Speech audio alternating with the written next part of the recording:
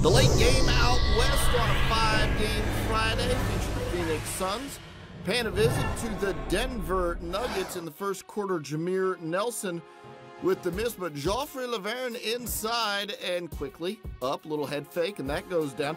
He was 6 of 15 from the field. Denver up 17 to 12.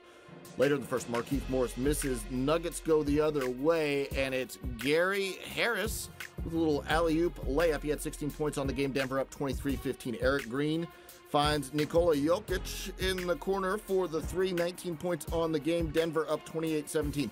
Will Barton now, watch this move, drives, spins, shakes the D, drops everybody, goes up lefty, and that goes down. 19 points on the game, made the free throw as well. Hoop and harm on that play. Wilson Chandler off the behind the back pass. 10 points on the game for Chandler. And Denver's up 59 to 34. Kenneth Faried bringing the hammer. Watch it again. Kenneth just crushing that one. 15 points on the game. Denver leading 63 36 at the half. Second half, Tyson Chandler thinks he's fouled. Gets a technical foul called on him. Tyson Chandler still thought he was fouled, still talking. Gets another technical foul called on him. He is ejected from the game.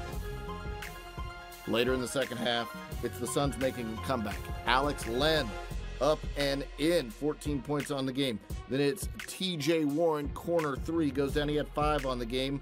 How about Archie Goodwin with a slam on the break right there?